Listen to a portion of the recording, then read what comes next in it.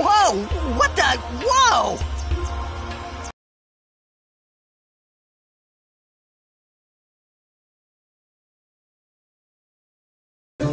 A sunken city. A Machina city, a thousand years old. They built the city on top of bridges across a river. But the weight of the city caused the bridges to collapse, and it all sank to the bottom. Right, it's a good lesson. A lesson? Yeah. Why build a city over a river, yeah? Uh, well, it would be convenient with all that water there. Nope, that's not why. They just wanted to prove they could defy the laws of nature.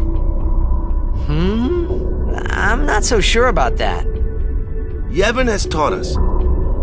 When humans have power, they seek to use it. If you don't stop them, they go too far, yeah? Yeah, but don't you use Machina too? Like the stadium and stuff, right? Yevon, it decides which Machina we may use and which we may not. So what kind of Machina may we not use then? Remember Operation Mi'ihen? That kind. Or war will rage again. War? More than a thousand years ago, mankind waged war using Machina to kill. They kept building more and more powerful Machina.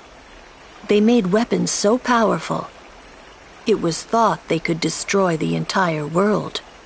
The people feared that Spira would be destroyed. But the war did not stop.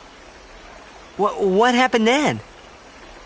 Sin came, and it destroyed the cities and their Machina. The war ended, and our reward was sin. But it's not like the Machina are bad.